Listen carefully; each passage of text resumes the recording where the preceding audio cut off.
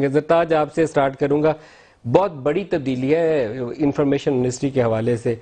ऐसे मुश्किल मरहले के ऊपर जब आप कोरोना के मिल्क मिडल में कहना चाहिए क्राइसिस फ़ेज़ के अंदर तो ये फैसला क्यों लेना पड़ा? थैंक यू मलिक साहब. Thank you for inviting me सबसे पहली बात तो ये कि अभी आपने खुद अपने इंटरव्यू में कहा। Uh, हम इस पे बात कर लेते हैं कि वक्त के लिहाज से जिस तरीके से प्राइम मिनिस्टर इमरान खान ने 1200 अरब का एक रिलीफ पैकेज दिया है, जिसके अंदर और वो सारा कोरोना के हालात के पेश नज़र दिया है। और उसकी सबसे खूबसूरत बात जो 144 अरब का जो एहसास कैश जो रिलीफ प्रोग्राम है, जिसमें हर शख्स का पता, किफालत का सेंटर और वो जा भी रहा है और पूरे पाकिस्तान के अंदर और फेडरल गवर्नमेंट ही ये मदद कर रही है। आज उसके अंदर मजीद दो सी ने फैसले किए पचहत्तर अरब का एक और बहुत बड़ा पैकेज दिया है, जो कल इंशाल्लाह हम लोग उसमें अप्रूव कर लेंगे।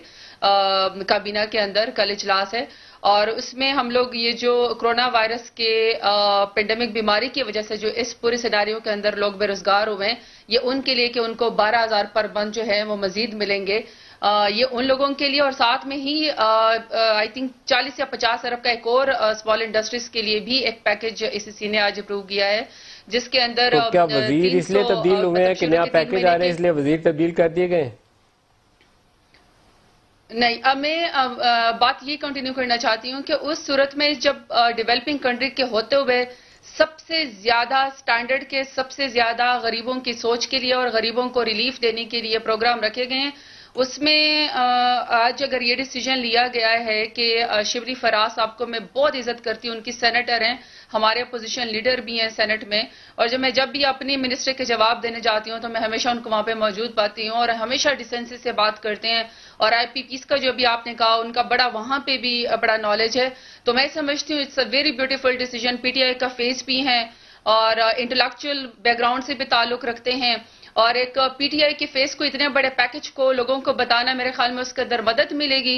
और जो दूसरा आपने अभी खुद उनका जो ज़िक्र किया जो special assistant prime minister Imran Khan ने जिनको लगाया है आ, मैं समझती हूँ कि वो डीजा एस पी आर भी रहे हैं उनका अपना एक आ, और हमारी अपनी हुकूमत के एक सिविल मिलिट्री ताल्लुकात भी बड़े ज़बरदस्त है। मेरे ख्याल में कभी आ, इतना तारीख में नहीं होना कि दोनों हाउसेज जो हैं हेडक्वार्टर हमारा और हमारा जो पीएम ऑफ़िस है, वो बिल्कुल एक पेज के ऊपर हो।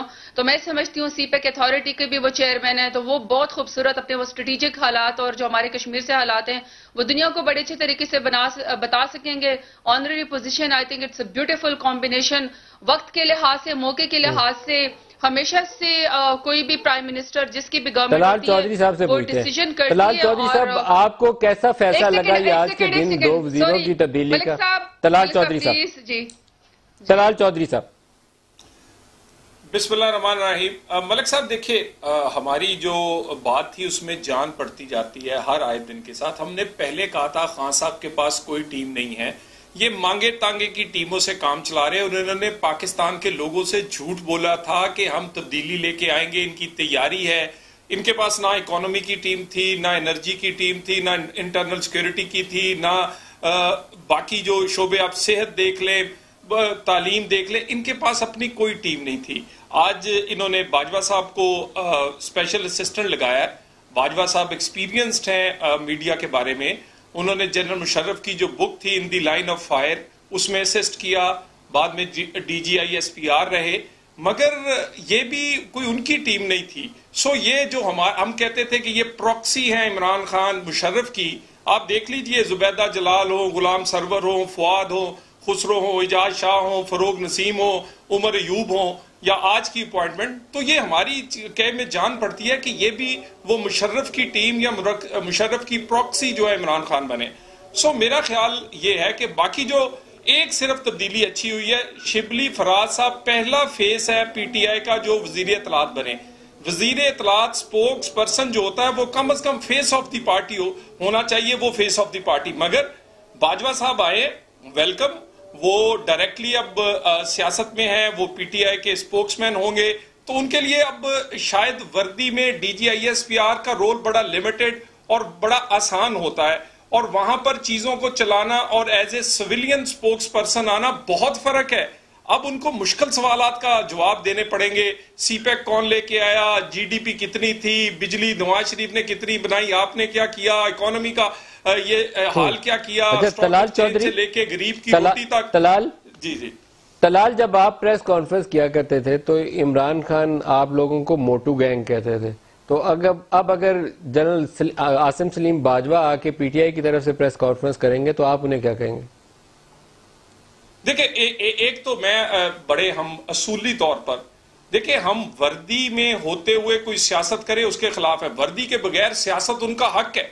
अब उन्हें फेस करना पड़ेगा। देखिए डंडे से एज ए डीजीआईएसपीआर चीज़ें चलाना या वर्दी के रोप से और बात होती है। सिविलियन स्पोक्समैन के तौर पर जब आप मलिक साहब आपका सामना होगा आपने मेरे सवाल का जवाब नहीं दिया आपने। वो मैं उसी पे मैं जब आप पूछेंगे मलिक साहब चीनी आटे के बुरान और वजीरों की चोरी और डकेती और नाहली और नलायकी का तो बड़ा मुश्किल हो जाएगा। ये हमें जो कहते थे आ, मैं कोई ऐसा नाम तो नहीं रखना चाहता लेकिन खान साहब की ये अपनी टीम नहीं। ये मांगे तांगे की टीम है।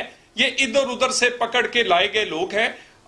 देखिए हम्म। कारकर्दगी से पता अच्छा, चलेगा देखना तो ये इंटरेस्टिंगली मैं मैं मैं जाऊँगा मुर्तजा आपके पास। देखना मुझे ये है कि कितनी देर वो पाकिस्तान पीपल्स पार्टी के जो वज़ीर खजाना मांगे हुए हैं हफीज शेख साहब उनके साथ चलाते हैं। क्योंकि सुनर और लेटर उनको फैसला करना पड़ेगा कि मुल्क को इस मुश्किल में चलाना है।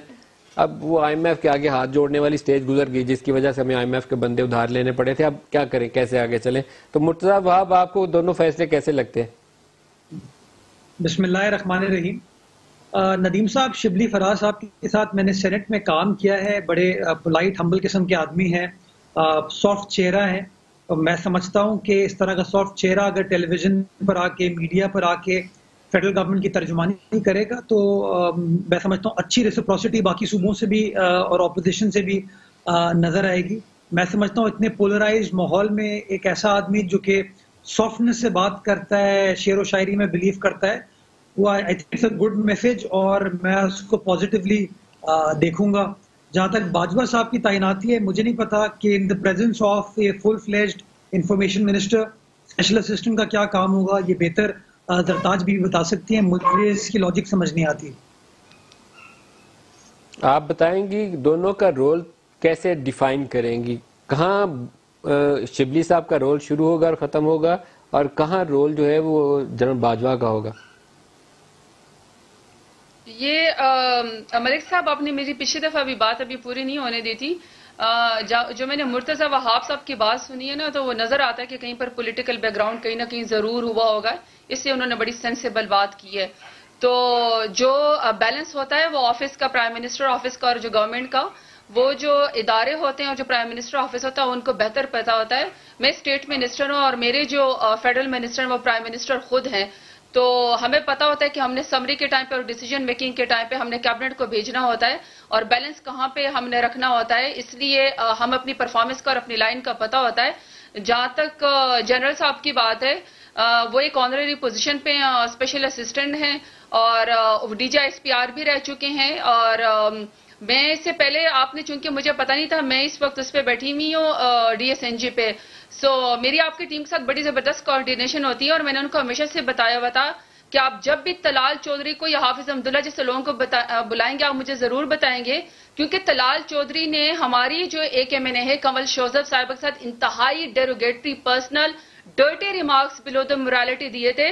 सो मेरी पार्टी की तरफ़ से और मुझे भी ये खुद मेरी अपने मोरल्स ये हैं कि मैं इस तरह के बंदों के साथ कभी भी वो टॉक शो ना करो क्योंकि ये डिसग्रेस्ड है खातन के लिए इस तरह के लोगों का। और पीएमएलएन को खुद सोचना चाहिए कि तलाल चौधरी जिसके ऊपर सुप्रीम कोर्ट ने खुद पाबंदी लगाई उसके बाद माजरत की कि नहीं की? जबान बहुत लंबी है।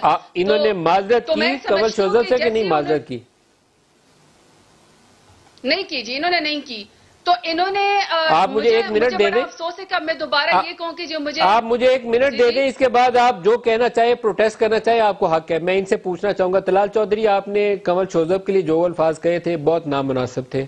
अगर आप उनके ऊपर कायम हैं तो मेरे ख्याल में और भी शर्मिंदगी की बात है। अगर नादम है तो अपॉलोजी ऑन एयर करनी चाहिए। देखिये मलिक साहब गुजारिश ये है। देखिए होता पता क्या है? मैं जब ये इस बट करी ना जी अगर गलत बात कह दी थी तो माफ़ी मांगने कोई बुराई नहीं होती इसमें।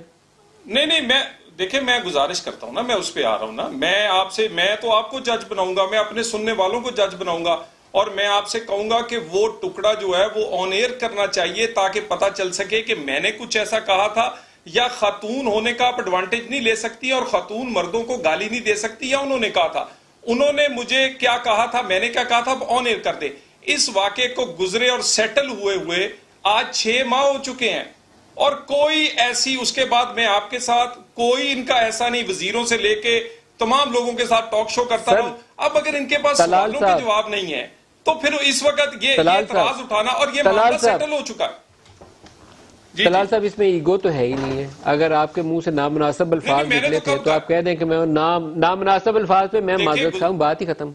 इसमें तो कोई शर्मिंदगी नहीं है तो बड़े पन का मुजाहरा ये ये ये ये ये मलक साहब ऑलरेडी मैं इस बात पे ये जो चीज़ आप कह रहे हैं मैं कह चुका हूँ। दोहरा दे सर। ये ये दोहरा दे मत अटके दोहरा दे और दोहरा दे मत अटके मेरे से कभी कोई बिल्कुल। देखे मेरे से कभी कोई गलती हुई मैं उसकी माजरत करने पे कभी नहीं हिचकताता।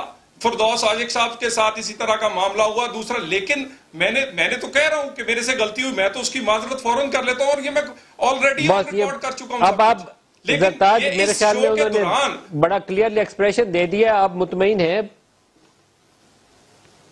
जी थैंक यू मलिक साहब। मैं हमेशा आपसे और आपके प्रोग्राम में हमेशा ये इसलिए एक्सपेक्ट करती हूँ कि हम हाफिज अब्दुल्ला साहब के साथ भी जब मैं बैठी थी देखिए मलिक साहब जब हम टॉक शो में आते हैं ना हम एक दूसरे की पॉलिसीज़ के ऊपर जितनी अभी इन्होंने हमारी पॉलिसीज़ के ऊपर पता नहीं मांगे तांगे कहा सब कुछ कहा मैंने ना मैंने इनको इंटरप्ट किया ना मैंने इनको कुछ कहा सिर्फ़ इसलिए कि जब पॉलिसीज़ के ऊपर आप मेरे से डिस्कशन करेंगे मैं सबसे अब सवालों पे आ जाए। जवाब दूँगी।